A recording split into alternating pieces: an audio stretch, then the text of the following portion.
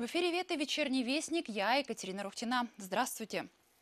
Об основных событиях этого дня в Прикамье расскажем в ближайшие 20 минут. Смотрите сегодня в выпуске. Режим повышенной готовности. Пермские коммунальные службы готовятся к бесперебойной работе в праздничные дни. Первая в регионе. В Чайковском открыли мультитопливную заправочную станцию. В чем удобство АЗС нового поколения. Театральная неотложка. Чудеса и праздничное настроение приходят к детям в стационары пермских больниц. Пермская администрация утвердили расписание общественного транспорта на предстоящие новогодние праздники. 31 декабря он будет работать по воскресному расписанию. При этом у автобусов будут отменены все рейсы, которые начинаются после 23.00. В то же время трамваи продолжат перевозить пассажиров без сокращений после 11 по расписанию выходного дня. В новогоднюю ночь в краевой столице общественный транспорт работать не будет. 1 и 2 января на линии будет работать лишь половина тех автобусов и трамваев, которые предусмотрены расписанием выходного дня. С 3 по 9 пермский общественный транспорт будет работать по расписанию воскресного дня. Актуальная информация о работе общественного транспорта в праздничные дни доступна в Яндекс.Картах и на сайте Гортранс. К предстоящим праздничным дням активно готовятся и коммунальные службы. На 10 дней предприятия энергетики и ЖКХ переходят в режим повышенной готовности. В оставшиеся до новогодних праздников дни на предприятиях должны провести проверку готовности ремонтных бригад. Как идет подготовка у пермских тепловых сетей, узнала наша съемочная группа. Там Алексей отключение, а в третьем районе сейчас ведомость должны прислать. Оперативно-диспетчерская служба пермских тепловых сетей «Глаза и уши» системы центрального отопления Перми и Краснокамска. Именно отсюда настраиваются тепловые гидравлические режимы систем, переключают нагрузку в сети и сразу же реагируют на любые отклонения от заданной нормы. Работа очень ответственная, признается старший диспетчер Николай Уточкин. Моя задача заключается в контроле работы насосных, также соблюдение режимов по насосным а регулировки непосредственно задаем машинистам. Они а, выезжают на место и регулируют. Ну и, значит, непосредственно работаем с районами. Для того, чтобы не случилось внеплановых отключений в предстоящие праздники в период с 31 декабря по 9 января 2022 года, предприятия пермского филиала ПАО «Т+» в Пермском крае будут работать в режиме повышенной готовности. Выходные праздничные дни круглосуточное дежурство будут нести порядка 50 аварийно-ремонтных бригад. На ТЭЦ и предприятиях тепловых сетей организован усиленный контроль над работой основного оборудования, а на станциях и котельных заранее сформирован требуемый запас топлива и обеспечена необходимая готовность персонала. Наша задача будет пройти предстоящие новогодние праздники без замечаний. Для этого настроена наша оперативно-диспетчерская служба, наш персонал. У нас повышенный режим готовности для решения всех нештатных ситуаций. И я уверен, что город Пермь, город Краснокамск пройдет новогодние праздники без замечаний. Мы все сделаем для этого. По вопросам подачи отопления и горячей воды в многоквартирные дома в период праздников пермяки могут обращаться в свои управляющие организации, а также в оперативно-диспетчерскую службу пермских тепловых сетей. Максим Суханов, Екатерина Рухтина, Виктор Морозов, телекомпания «Ветта». Роспотребнадзор опубликовал данные исследований на коронавирус. За прошедшие сутки в Пермском крае подтверждено 511 новых случаев COVID-19. Тем временем в регионе продолжается иммунизация населения. Во всех мобильных пунктах в наличии вакцина «Спутник Ви» и «Спутник Лайт». ТРК Спешилов также в наличии вакцина от гриппа. Пункты вакцинации продолжат свою работу и в праздничные дни. К слову, те, кто против вакцинации QR-кодов, планируют провести в Перми пикет. Состоится он 29 декабря. В городской мэрии подтвердили, что пикет согласован. Согласование получено и от администрации губернатора Пермского края. Похожие протестные мероприятия проходят и в других городах России. К примеру, в, Екатер... в Екатеринбурге состоялось уже четыре акции. Также протесты были и в Челябинске.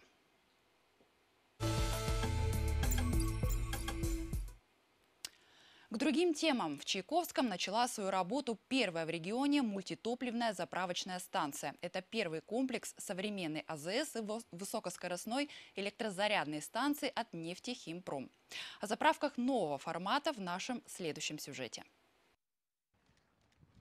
80 киловатт постоянного тока. Своя сверхмощная и высокоскоростная электростанция теперь есть в Чайковском. Здесь можно зарядить электромобиль за 12 минут. И этого хватит на 100 километров. В каждых крупных городах э, желательно нахождение хотя бы одной быстрой зарядной станции для того, чтобы из города в город можно было спокойно перемещаться и заряжаться без проблем, когда ты уже туда приедешь. В Прикамье это 39-я по счету АЗС группы «Нефтехимпром», но первая в своем роде, потому что заправочная станция мультитопливная. В Чайковском она появилась не случайно. Город часто посещают спортсмены, музыканты и просто туристы со всей России и из-за рубежа.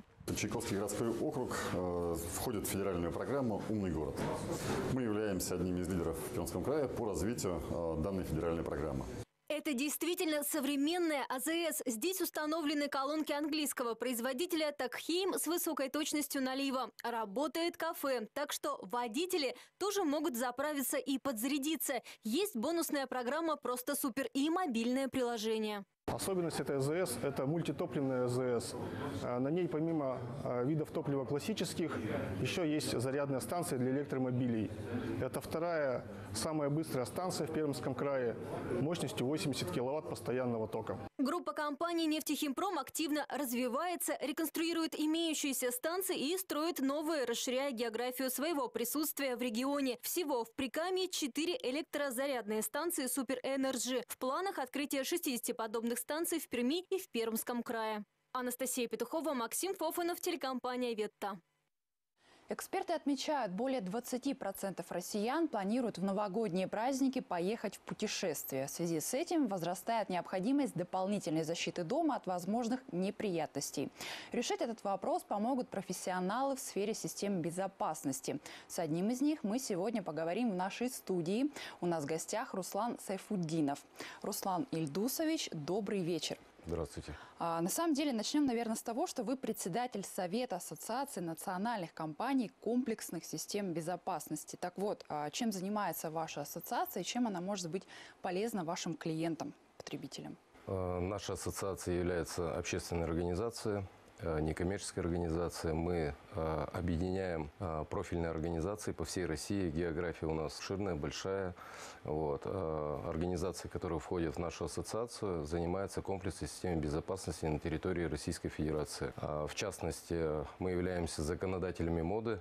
В начале 2000-х годов вот, мы начали заниматься изначально домофонами, устанавливать новые двери на подъезды, ставить домофоны предоставлять э, защиту э, на входных дверях, чтобы посторонние люди не могли э, входить э, в подъезды. Э, В дальнейшем мы начали развиваться и также развивать свои возможности, предлагать услуги. Это видеонаблюдение, охранная пожарная сигнализация, все, что касается именно конкретно э, систем безопасности в доме. Ну вот, например, а, те, кто хотят стать вашими клиентами, с чего вот посоветуете им начать в системах безопасности? На что в первую очередь обратить внимание, может быть? Ну, в первую очередь, э, каждый клиент выдает свое техническое задание. Вот. Мы всегда прислушиваемся к клиентам. Также мы, э, как профессионалы, э, делаем коммерческое предложение, указываем, какие есть плюсы, какие есть минусы, что надо сделать. Э, Ну, в первую очередь, все-таки мы работаем для безопасности, и клиент, который к нам приходит, он получает от нас комплекс безопасности, в том числе мы предлагаем э, эксклюзивные вещи, которые мы можем предложить своему клиенту, ну и, соответственно, поддерживаем техническое обслуживание э, того оборудования, которое мы установили. А, Ну вот уже немножко начали, да, эту тему по поводу вашей обширной географии. Вообще, а, как много членов вашей ассоциации? Э, В нашу ассоциацию входит э, более 42 компаний, крупных компаний по всей России. Каждый месяц мы растем. Вот. Задача нашей ассоциации, и у нас есть такой девиз, да, это качество обслуживания. Качество предоставления услуг, качество обслуживания. Вот. И мы стремимся к этому стандарту по всей России. Вот. И также с нами работают э, российские заводы-производители, э, мы берем их оборудование и, соответственно, предлагаем своим клиентам. Ставим мы все оборудование бесплатно на территории Российской Федерации вот, и обслуживаем в дальнейшем все это оборудование. Какие сегодня а, вопросы безопасности наиболее актуальны? Вот можно там топ-3, топ-5 выделить, и почему именно они, с чем связаны? Ну, на сегодняшний день э, у нас в стране идет э, цифровизация, так называемая, да. Вот. Мы, конечно, тоже стараемся участвовать в таких мероприятиях. Вот. Ну, в первую очередь наша задача поработать с нашим конечным потребителем, клиентом. Это любой житель да, любого дома, любого подъезда. И, соответственно, то, что хочет э, житель, вот, мы все это исполняем в качестве э, оборудования, в качестве обслуживания, сервиса ежедневного. Да. Вот. И, соответственно, то оборудование, которое мы устанавливаем, мы несем полностью за него ответственность. Соответственно, дополнительные средства мы не собираем. Клиент платит за обслуживание. И все оборудование, которое мы установили, соответственно, мы меняем за счет нашей организации. А нет ли вот такого, что перед Новым годом какой-то всплеск, например, там, по системам противопожарной безопасности, да, в связи с тем, что бенгальские огни и прочее будет в новогоднюю ночь? Декабрь месяц, он всегда у нас положительный. Вот. Люди торопятся что-то сделать. Э, к примеру, да, вот э, у людей, допустим, не работает также домофон, да, как трубка установлена в квартире. Вот. Они вспоминают, что к ним должны прийти гости. Вот. И в торопях, в торопях, соответственно, декабрь месяц у нас такой топовый месяц. Ну вот, все хотят э, быстро что-то сделать, соответственно, обращаются также по системам видеонаблюдения. Вот. Ну, мы работаем, стараемся, мы работаем по 31 декабря. Желаю, наверное, в наступающем году безопасности вашим клиентам, ну а вам, конечно, процветания и всего самого лучшего. Спасибо. Спасибо за интересную беседу. Сегодня у нас в гостях был председатель Совета Ассоциации национальных компаний комплексных систем безопасности Руслан Сайфуддинов. А мы продолжаем наш выпуск.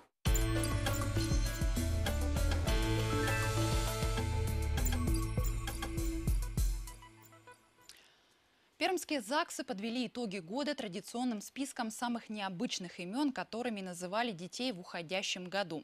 Как передает пресс-служба городской администрации, тренд на редкие имена сохраняется. Так специалисты ЗАГСов вписывали свидетельства о рождении такие имена мальчиков, как Демьян, Клементий, Виарел, Арислав и Арман. Если говорить об именах девочек, то в этом году самыми необычными зарегистрированными именами стали Айлина, Медина, Айша, Евангелина, Амира, Ясмина, Ариана, Татья, Леора, Афина и ряд других. В ЗАГСе напоминают родителям, что при выборе имен для ребенка нужно в первую очередь думать о том, как оно может повлиять на его жизнь.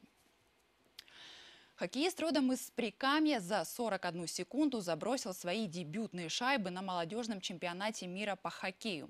Как выяснил Егор Тверетинов, для 17-летнего уроженца Кунгура этот турнир является первым молодежным чемпионатом мира в карьере. Новости региона далее.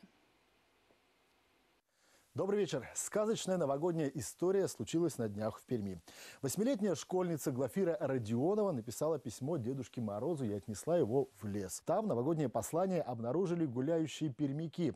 Прочитали его и написали об этом в социальных сетях. Пост увидел настоящий Дедушка Мороз и обратился полицию, ну, чтобы ему там помогли разыскать Глашу. Ну а когда девочку все-таки нашли, Дед Мороз смог исполнить ее самое заветное желание. Школьница попросила в подарок на новый 2022 год настоящий микрофон, ну и большой поп. В Чайковском завершились всероссийские соревнования по биатлону среди юниоров и юниорок, являющиеся отборочным турниром к первенству Европы. Студенты Чайковской государственной академии физической культуры и спорта Анастасия Зырянова и Александр Корнев по результатам соревнований отобрались на первенство Европы 2022, которое пройдет в городе Поклюка, Словения, с 19 по 23 февраля. Хоккеист родом из Пермского края за 41 секунду забросил свои дебютные шайбы на молодежном чемпионате мира по хоккею. Для 17-летнего уроженца Кунгура этот турнир, проходивший в Канаде, является первым молодежным чемпионатом мира в карьере. В середине третьего периода стартовавшего матча со сборной Швеции Мечков смог дважды поразить ворота соперников. Однако этих двух шайб не хватило для того, чтобы одержать победу. Итоговый счет в матче 3-6 в пользу шведской сборной. Это были все новости региона на сегодня. Всего доброго. Преддверии Нового года чудеса и праздничное настроение приходит и к тем, кто вынужденно находится на лечении в стационарах пермских больниц. Туда к ребятам приезжает самая настоящая театральная неотложка. Это благотворительный проект Пермского отделения Союза театральных деятелей России. О поддержке, чудесах и простых радостях. Юлия Рожкова. Встречайте, сестры Травкины! На импровизированной сцене детской клинической больницы имени Пичугина театральная премьера. В преддверии Нового года к детям, проходящим длительное лечение, приехала театральная неотложка, чтобы показать новогоднее кукольное шоу. Здесь и куклы, и актеры выступают, и, такой вот, и концерты, и, и как бы цирковые номера. В общем, такое вот праздничное новогоднее шоу, естественно, с участием Деда Мороза, э, поскольку Дед Мороз у нас во всех спектаклях присутствует новогодних, поскольку такой замечательный детский праздник. Проект «Театральная неотложка» существует уже более 10 лет. За плечами профессиональных артистов тысячи представлений в детских учреждениях по всему краю. Неизменно одно – каждое выступление они с замиранием сердца ждут детские улыбки. В данном случае наши пациенты стационарные, конечно же, зарядились положительными эмоциями. Безусловно, это положительно скажется на их выздоровлении и восстановлении. Они отвлекутся от, может быть, какого-то заболевания, они отвлекутся от э, больничной атмосферы, которая тоже там не располагает чаще всего к празднику. Всего в Перми провели три праздничных концерта театральной неотложки. Яркое представление состоялось и в Доме актера, месте зарождения проекта, у которого теперь множество единомышленников. Мы рады, что нам удалось э, организовать такое мероприятие и надеемся, что эта инициатива а, созданием с организацией спектаклей станет доброй традицией. В представлении непосредственное участие принимают и дети. Они общаются с артистами, ловят конфеты, водят хороводы с Дедом Морозом и Снегурочкой. Такое, казалось бы, совсем не медицинское действие, важно для здоровья и самочувствия. Поэтому с этого года проект поддерживает и Центр общественного общественного здоровья и медицинской профилактики. Мы решили поддержать эту инициативу, порадовать маленьких пациентов э, таким новогодним маленьким чудом, спектаклем, э, помочь деткам настроиться на позитив, на скорейшее выздоровление. И мы, как никто, как Центр общественного здоровья и медицинской профилактики, понимаем, что залог здорового будущего – это, конечно же, здоровое детство. Именно поэтому мы очень с большим удовольствием приняли участие в этой акции. Десятки детей в Перми улыбнулись, несмотря на лечение. Новогоднего настроения стало чуточку больше у тех, кому оно необходимо. Значит, все удалось. Будем продолжать, говорят организаторы. Юлия Рожкова, Татьяна Сарамотина, Александр Наприенков, телекомпания «Ветта». Последняя рабочая неделя года – сложное время для многих. И мы, телевизионщики, не исключение. В редакциях ежедневный праздничный мозговой штурм, камеры работают на пределе. И все для того, чтобы порадовать вас интересным новогодним контентом. Телевизионное закулисье приоткрыла Анастасия Петухова. Слышите рычание? Команда в полосатых купальниках уже готова удивлять. Так, сейчас, подождите, где камера? Тут. Мы его приручили. Символ Нового года уже в студии. Я вас не съем. И это правда. Отправляйте фото и видео новогодних угощений на нашу почту 2022 собакавета.тв с пометкой «Конкурс кулинаров». И получайте призы. А можете похвастаться тем, как украсили свой дом. Тогда в заголовке укажите «Красота». Давайте проведем эти каникулы вместе. Макс, Ксюша, расскажите, что вы делаете с 1 по 8 января? Будем работать. У нас будут новогодние вестники. Мы будем удивлять, радовать. Вот Ксюша сейчас некоторые подробности расскажет. А, у нас такие произошли невероятные вещи. К нам придут такие удивительные гости. А, например, мы будем петь народные песни. А, в это время будет играть диджей. То есть это в современном Да, все это будет, будет стиле. в электронной обработке. И это еще не все, точнее, не все. С 1 по 8 января в эфире ваши любимые ведущие Ксюша и Макс, Станислав и Полина, Егор и Валерия. Такого вы еще не видели. Мне кажется, что у меня И вот руки так, под это не заточены. Да так все говорят, кто делает что-то первый раз. Это действительно что-то новенькое. Нет, мы не про вязание. Новый год мы встретим в новой студии. Студия у нас высокоинтеллектуальная. Она у нас работает с интеллектуальным помощником Алеша. Она может выполнить команду «Алеша, включи свет». Наша студия уютная. Приколдесная студия просто. Она стильная. Мало того, что это нарядно, это еще и комфортно. А как нашим зверушечкам будет хорошо в новых обстоятельствах. Кстати, о шарфиках для погодных ведущих. Я подготовила подарки всем девочкам в редакции.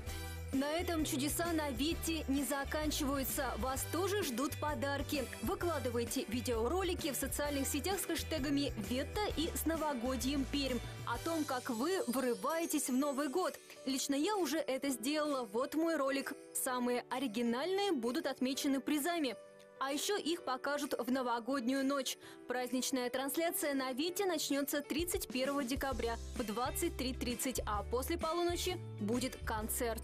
Не будем раскрывать эту тайну, но хочу сказать, что концерт пройдет на новом, в свеже открытом катке на набережной. Там будет очень красиво, с фейерверками, с фигуристами, с классной елкой, веселой музыкой, поэтому обязательно смотрите. Смотрите!